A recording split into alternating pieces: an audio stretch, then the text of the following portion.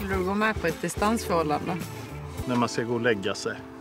Då får man ju sakna ihjäl sig då när man inte... Ja, men du jobbar ju dygnet runt i alla fall. Nej, jag sover varje natt och jag vill ligga varje kväll. Så...